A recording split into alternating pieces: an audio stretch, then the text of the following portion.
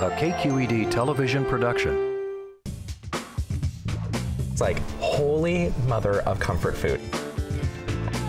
Throw it down, it's noodle crack. you have to be ready for the heart attack on a platter.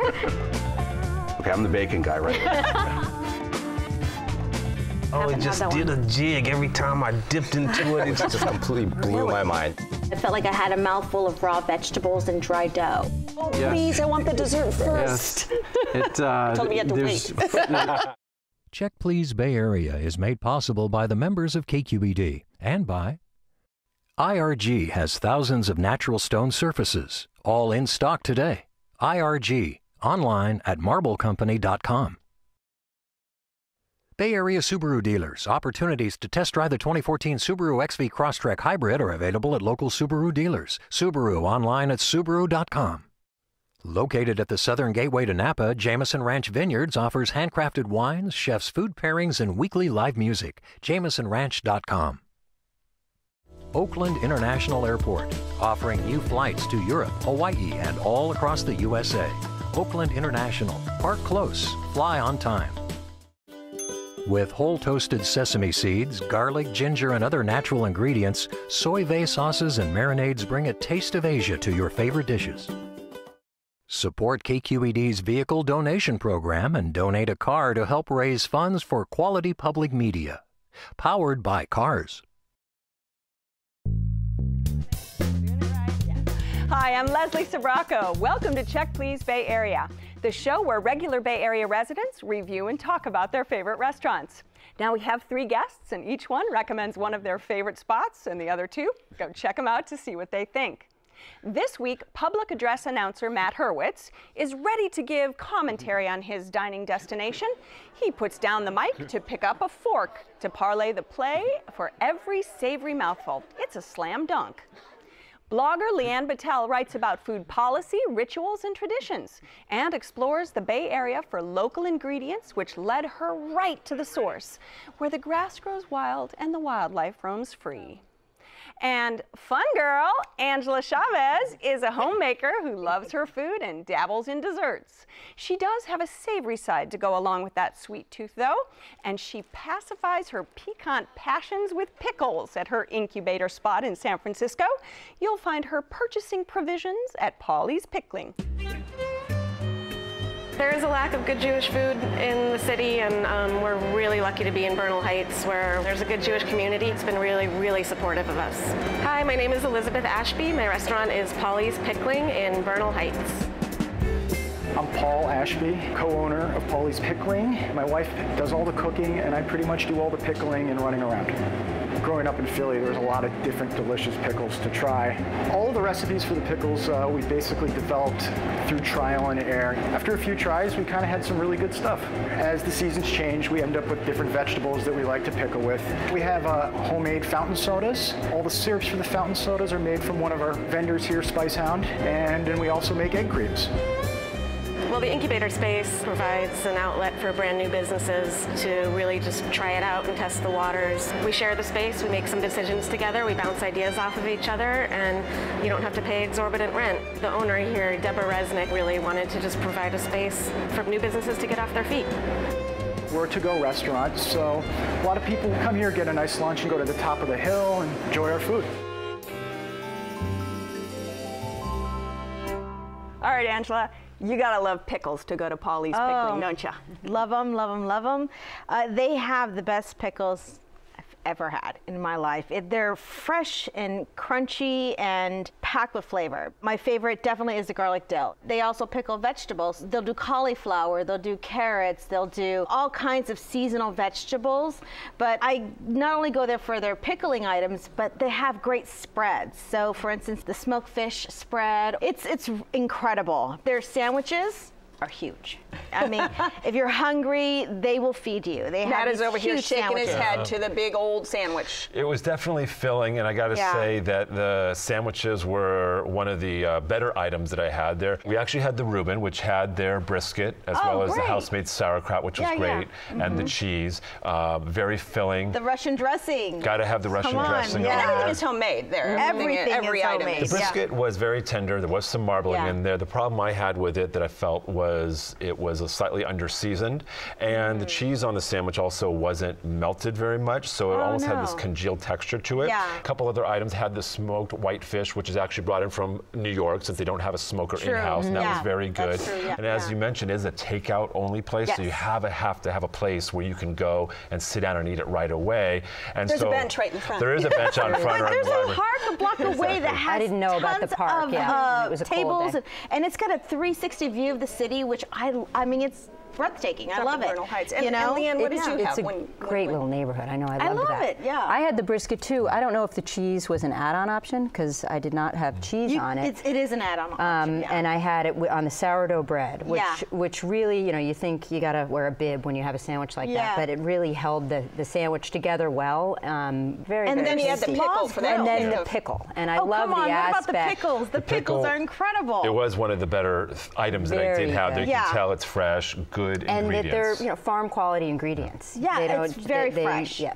Tuna Well, is not curious, did canned tuna. Tuna oh is no, the cu- fresh not they flaked call it not from canned tuna, Yep. and Yeah. really, really good tuna, real That's tuna. great. Yeah. Okay, Mhm. okay. And you can ask for taste of things. Um, They there were really very is Paul and Liz that. We tried behind, a, a behind few the counter. pickles. Yep. They yeah, they, will- they will let you taste everything. I mean, even her gravlax that she makes is incredible. This rub that she has is I I've asked her for the rub itself, but the salmon is like top notch. I love smoked salmon. I'm a I'm a gravlax girl. Mm-hmm. It has to be the best gravlax in San Francisco. I love that. I'm a Gravlax girl. You don't mm-hmm. hear that very often. I right? love it. I mean, that's what hooked me. First, what hooked me was the pickles because Right. I had a sample of the pickles, but then I saw the salmon and.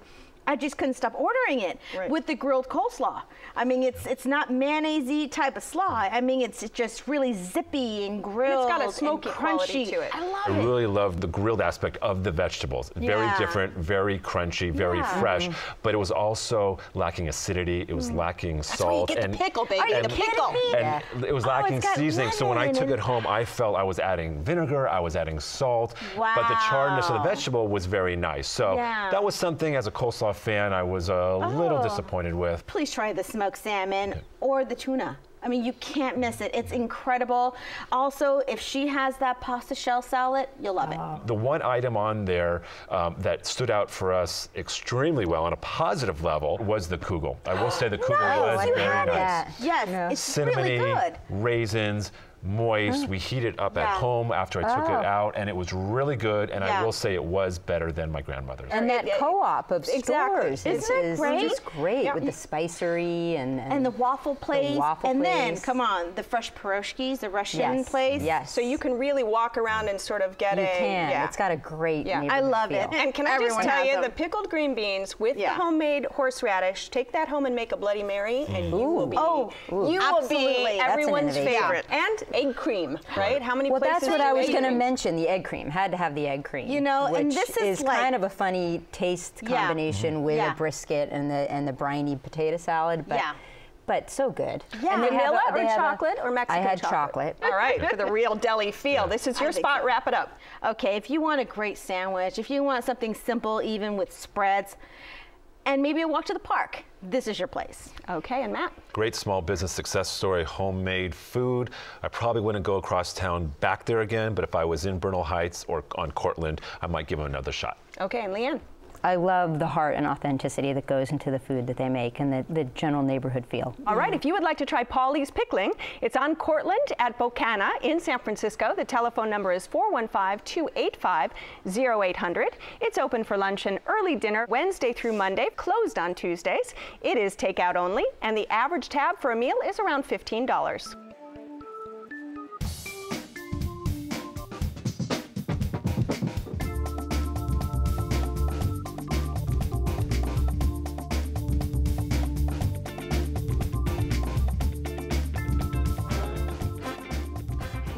Bay artists and artisans come together with the chef and owners of Matt's Choice to serve up an eclectic menu of Mediterranean and new American dishes in a relaxed setting.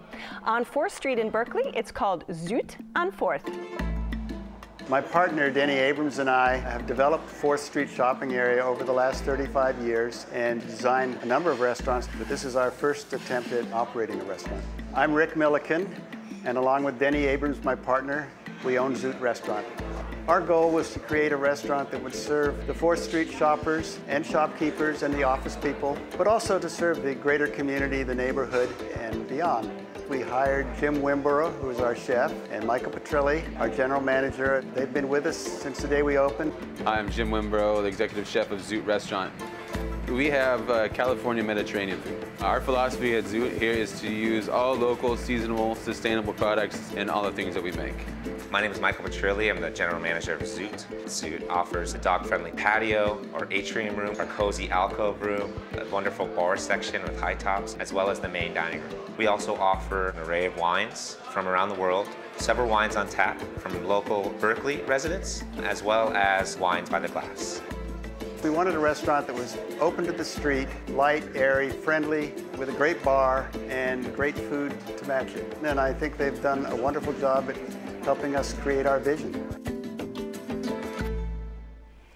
All right, Matt, Zut has a, a, little bit of everything for everyone, doesn't it? It does, and that's why I actually followed the chef who took over there. He was previously at Mediterranean restaurants in San Francisco, and I've been going there since they've been open for the last three years. Menu is constantly changing daily based on what's fresh, but there are a few things that stay on the menu. The lamb meatballs, I always get them, five meatballs in a tray, sitting on a bed of a tomato compote, which is zesty. You get the cumin from the meatballs and a hint of cinnamon in the tomato compote.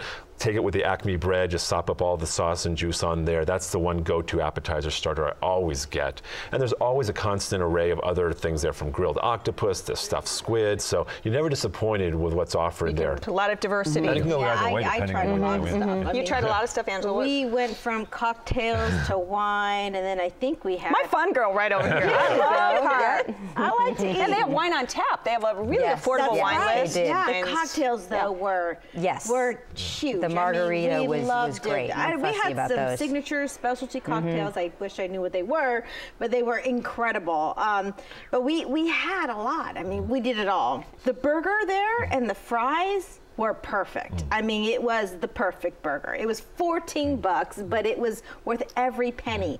Those fries were addictive. I couldn't stop eating them. It was perfect. I had a steak. I went for lunch, and they accommodated me because I had to try the steak. Yeah. Mm. The steak was great. It had these big, beautiful wedge fries with some kind of lemon vinaigrette. Are you a medium rare girl? I am definitely medium rare girl. Oh, I love the mm -hmm. medium rare. Just walk the cow by the fire, and I'm in. There you go. Leanne, what was your appetizer and I had the Brussels dish? sprouts, which I think is a very popular item there. People go there for that. They fry them in canola oil, but they, they're not really fried. They're more flaky and, and have a generally soft texture, and there's a little bit of garlic and Parmesan cheese and bacon. The bacon was a, a little chewy, I found, um, but they were very good, and, and I could see how they could be addictive. We finished those very quickly. Uh, we had the lamb shank, mm-hmm. which was also very good, good flavor, and it was on a polenta, which was soft and creamy, and I love the way that soaked up the juices. It was pretty lean. It, it was a good dish. I thought it was a little bit pricey, but it was it was a good dish. It took me a bit of time to figure out the identity. You know, was it a very casual burger pizza place, or was it a more you know fine dining restaurant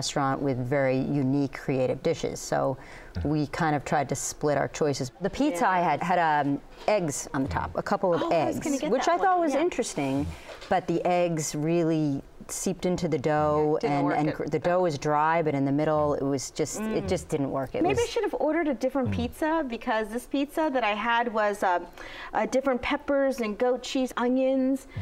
but it was like toasted bread with raw vegetables. Mm. I was so bummed out because it, you know, I was thinking it was it was going to be a great pizza. The crust you know? was a little dry, was, not not not yeah, dry. yeah. I, I found like that too with the pizza, and, yeah. and the and the house-made sausage was kind of had an odd flavor and, and was also very salty. But I mean, they did have some good stuff like the, the lamb meatballs. Had those Excellent. too. Mhm. Those are really good. And you liked those, Leanne, as well? Yes, they were. I loved the fact that, like you said, they were so tender and light. Yeah. Right. And And that one sauce was just, yeah, very tasty. And you've talked a lot about meat dishes, but there are actually quite a lot of vegetarian-friendly dishes at this place as well. They have a lot of salads. One salad that I always constantly get, and sometimes I've asked for it even on a bigger entree size, is their chicory salad. And it's kind of this Oh, nice I combination of the bitterness of the chicory, the creamy bite of the blue cheese, you got the crunch of the Mm-hmm. Mhm. walnuts, and the fruitiness of the pears and dried plums. And that's a salad that I always think, I'm not going to get it because I want to save room for other things, Yeah. but I always But do get get it. it. Gotta get your favorite. Yes. Right. And they have a great wine list showcasing Mhm. a lot of countries in the Mediterranean, so you can start off with a Greek Assyrtiko from Santorini. And, they've then got Greek wines, they've got great Rioja. a wide really variety nice- of Nebbiolos Mhm. from Yeah. Piemonte region, and so a lot of great options on there that you can choose from. And you mentioned about the identity of it, which is something Mhm. interesting because I've gone for lunch, I've gone for Mm-hmm. dinner, I've gone for a late lunch, early dinner before going down to the arena in Oakland for a basketball game, and I'll Mm-hmm. Mhm. spend a couple hours just at the bar. Yeah. You get a wide mix of clientele, very casual. You can also have business meetings. You can have those celebratory meals where you want to spend a little bit more for dinner. So I think they offer a little bit of everything no matter when you go. And as you mentioned, you ordered something that was not They normally were on the very lunch menu. Very accommodating. I mean, the mm. service is excellent, even just for that alone, and the cocktails. I'm good. I, I would definitely go back. And what about dessert, Leanne? We had a very traditional sundae, and it, it w- was not so mm. great. I mean, I do mm. love And that's an a ice cream signature of sundae. theirs. Who doesn't?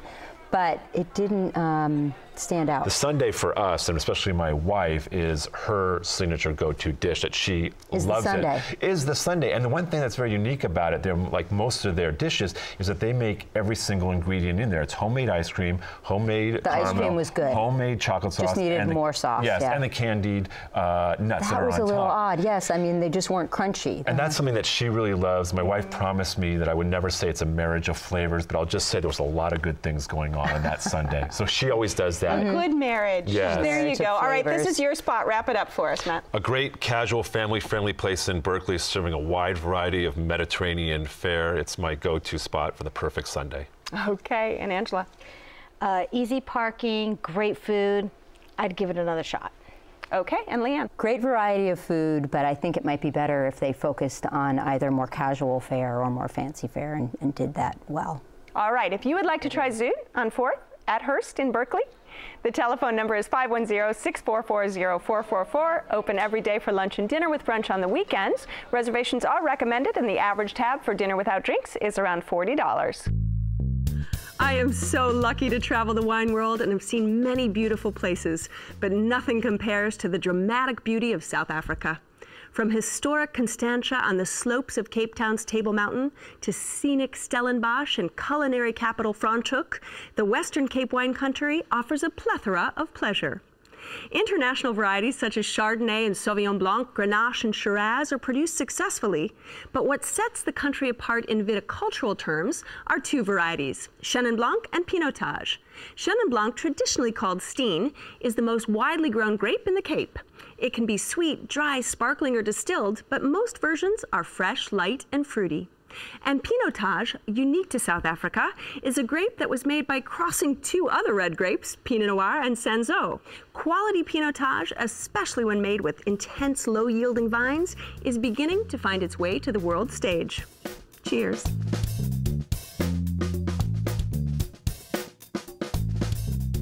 It's all about the meat at Leanne's rural location, combining a farm outlet, butcher shop, and restaurant where the pasture to plate philosophy is practiced with skill. Head to Point Reyes to find Marin Sun Farms butcher shop and restaurant. Point Reyes is a unique place. The pastures are green most of the year, the cows are out on the pasture. It's very visible, the agricultural production. My name is David Evans, and this is the Marin Sun Farms butcher shop in Point Reyes Station. Marin Sun Farms is an extension of my family's ranch and my roots here in Point Reyes. I opened the Marin Sun Farms butcher shop in 2005 with the idea of customers buy direct from us and taste how we prepare our meats the best. My name is Paul Bondick. I manage the butcher shop, I manage the restaurant, and I make sure all of our guests have a nice time when they're here. It's a unique situation where they can come in and pick anything out of the meat case and we'll cook it up for them. It's the true definition of farm to, to plate. All of the meat here is 100% grass-fed, pasture-raised, and food shed sourced, and we like to make sure things are cooked nicely and seasoned well. On my ranch, I raise beef cattle and chickens for eggs, and I've networked with a number of other sustainable producers around the, the state that produce different meats under the protocol that Marin Sun Farm puts out. I want customers to come away with a sense of place. They're supporting the surrounding area and its agricultural roots and the sustainability of its lands. But there's three to 400 other restaurants and artisan butcher shops in the Bay Area and Los Angeles that are purchasing our meats so that customers all around California can access these meats without having to come all the way to Point Reyes Station to do it. There's a steak in the oven. Leanne, there is no need for the term, where's the beef, huh, in this place. I mean, no. I am a meat lover. This is about meat, it real is. meat. Thankfully, they changed their signage to show that it is a restaurant and not just a butcher shop because I used to drive by it. I went in and I've been going ever since. It's just a great casual spot. And you can sit outside, can't you? Yes, and their herbs are growing around the mm -hmm. periphery of the outdoor area. They have about five or six uh, burgers each day, um, from goat to chicken to obviously the beef. And in fact, the day that I was there, they had a special, which was a combination of filet and New York strip steak that they ground into a burger. The burgers are juicy and substantial, and each one is prepared in a different way. Uh, the beef burger this particular day had uh, Gruyere cheese melting all over the top, and their house cured bacon. Everything uh, is better with bacon. Come yes, on, of course. A little you bit gotta, of bacon. Uh, yeah. Never hurts. Gotta throw the bacon in. It's called super awesome bacon. Their buns come from Stinson Beach and are so yummy, and a, and a light side salad with a champagne vinaigrette. Right. It's just and really, let's talk a little really bit more tasty. about the meat because David Evans, this is a yes. a, a, a farm, For, really. Fourth this generation a, cattle farmer. That's right. Yes, and they have a co-op up there in Point Reyes. So mm -hmm. what they don't actually grow on that farm, they bring in from other local farms. I mean, when you think of farm uh, to table concept, this is it. This yes. is it. Yes. I mean, it every single thing was incredible. It was almost life changing because oh, I will be taking a trip out there, um, you know, regularly now. At it's the gateway to drive. Point Reyes, it's a great place to start or to end the day and you get some meat to take home right. to grill when at home. You can walk into a so place and you can see your meat there, yeah. freshly ground, the, the, the, freshness of the vegetables and how uh, generous they are. When They make soups. They I think the key to those soups is the stock, and they go through this whole multi-step process to make this stock. Stuff. And it's in the and freezer. so you, you, you, yeah. And tell me what you had to eat. That was life-changing. I want to hear. First, I have to say though, is the wine list wine. was great. Mm -hmm. It went well with the meal. And cold um, local beers. I love mm -hmm. it. I love the fact that I can order a beet and arugula salad. I had that, which was very good with the Point Reyes blue cheese. Point Reyes blue. Mm, it was so good with that flavorful cheese with the earthy beets. It was a mm -hmm. great combination. So good, and it was big. Let's see, we had rosemary beer battered um, onion rings. Uh, we also had the Brussels sprouts. Right. okay, those, wait a minute. Wait a are minute. those outrageous? Those were the best fried Brussels they, sprouts they I've fry ever them had in pork ever. lard. No one so can do them. No one can do them the way they did it. crispy and flaky and with this oily. willowing fresh like parmesan, parmesan, that pours like, over the top. Matt, you want to jump in this girl Great. fest here, or what's going on? It was great. I had the goat burger, and I did not know what goat meat was going to taste like by itself, but it was delicious. It was herbaceous and barnyardy, and by itself, I probably wouldn't have the goat patty, but it's topped with a chev cheese, some caramelized onions, some mushrooms, and you put them all together. It was just very creamy and luscious, and it was very filling. It was not a huge piece of meat, but all together, very satisfying, and I'm glad I made that choice. We also got the fried chicken sandwich, Oh. uh, a little hard and messy to eat because it was just bursting over the bun, but it was still delicious. I did find the meat quality of all the proteins to be top notch, and obviously you Yeah. Pay a little bit more for Yes. that kind of meat than mm-hmm. Yeah. other places. And I did find the sandwiches on the sandwich portion of the menu to be reasonable for the quality Yep. and how much you get. Mm-hmm. I did find um, the entrees, the steak and fry, steak frites combination, that mm-hmm. were 20 different proteins that you mm -hmm. can mm-hmm. purchase or right. match up. It mix in different ways. Mix, mix and, match. You yeah. can yeah. pick anything exactly. from the case right. for a flat fee of $12 and they'll prepare it any way you like. Well, in addition to Less what the rate price is. per so pound. I was yes. thinking of that. And if I went back for dinner, you're going to potentially pay up to $32, $33 for that a entree. Great and for steak. a casual no, yeah, plate sandwich. You're going to eat the you're best, gonna, baby. You're you got it. You're going to eat it. Yeah, you have to get in that mindset. Do I want to go to a formal steakhouse or do I want to go there and prepare mm -hmm. to pay for that? A good way to do it is to maybe on your way out of Point Reyes to pick up something and, and grill it at home. I have to say, mm -hmm. though, it's kind of bummed me out a little bit was the fries. They were really limp. They were oh, just limp's not kind good in of a fry. like not mm -hmm. not crunchy at all. Maybe, they were just kind of limp. Maybe a bad batch. We found the fries to be very delicious. And the house-made really? ketchup, that's really house good House-made ketchup. My son yeah. did not ketchup. want to give me the French fries. The chef loved how much we loved our oh, meal. He yeah. gave this little sample of a porchetta sandwich that they oh, were putting on the menu. Nice? Yeah. It's this uh, pork that just has this beautiful rosemary kind of pesto, mm. and they roll it up and they roast it, but they put it on this fluffy kind of focaccia with apple chutney. Oh. Fresh right. apple yeah. Chutney. I love the different combinations. I mean, it was just like mm-hmm. sweet and savory and salty mm -hmm. and like, oh my and God. you loved it. Well, you've transformed so her good. life. So I'm give so us a, happy. Give Yes. us a quick wrap up. If you're looking for a true California farm to table experience, juicy burgers, satisfying sides, check it out. Hope you're not a vegetarian. Okay, and Matt. Wouldn't drive an hour out of my way just for a burger, but if I was spending the day or the weekend in the Point Reyes area, I would most likely go back and try a different one of their proteins, a different burger or sandwich. Mm -hmm. Okay, and Angelo? You have to go. Be adventurous. Go for it. You'll love it. I will definitely go again and again. If you would like to go to Marin Sun Farms Butcher Shop and Restaurant, it's on Shoreline Highway 1 in Point Reyes. Telephone number is 415-663-1800. It's open for lunch and early dinner Friday through Sunday with lunch Monday and Thursday closed on Tuesday and Wednesday. Reservations are not accepted and the average tab for dinner without drinks is around $30. Well, I have to thank all my fun guests on this week's mm-hmm. show. Angela Chavez with The Marketplace, which houses local artisans and the acidic-centric servings at Paulie's Picklin. Mm-hmm. Matt Hurwitz, that brings together the zesty, best of both worlds Mediterranean and American fare at Zut on 4th in Berkeley. And finally, Leanne Battelle, where family and heritage makes for the ultimate farm to fork experience at Marin Sun Farms Butcher Shop and Restaurant in Point Reyes. Now, we really want to hear your thoughts about today's show and your experiences at any of the restaurants we've been talking about. So go to our website at kqed.org slash check please, where you'll find a lot more information and the details on all the restaurants featured. You can watch a segment or download a whole show. And you can read the notes on the wines we're drinking today that I've written up for you. And don't forget, you can stay in touch with us via Facebook and Twitter. So join us next time when three new guests will recommend their favorite spots right here on Check Please Bay Area. I'm Leslie Sbrocco, and I'll see you then. Cheers. Cheers. Cheers.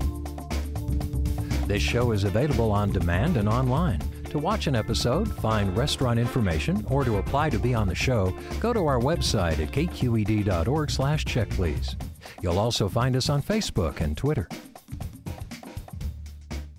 Check Please Bay Area is made possible by the members of KQED and by IRG has thousands of natural stone surfaces, all in stock today. IRG, online at marblecompany.com. Bay Area Subaru dealers. Opportunities to test drive the 2014 Subaru XV Crosstrek Hybrid are available at local Subaru dealers. Subaru online at Subaru.com. Just 45 minutes from the Bay Bridge, Jameson Ranch Vineyards offers handcrafted wines, chef's food pairings, and weekly live music. JamesonRanch.com. Oakland International Airport, offering new flights to Europe, Hawaii, and all across the USA. Oakland International. Park close, fly on time. With whole toasted sesame seeds, garlic, ginger, and other natural ingredients, Soy Vay sauces and marinades bring a taste of Asia to your favorite dishes. Support KQED's vehicle donation program and donate a car to help raise funds for quality public media. Powered by Cars.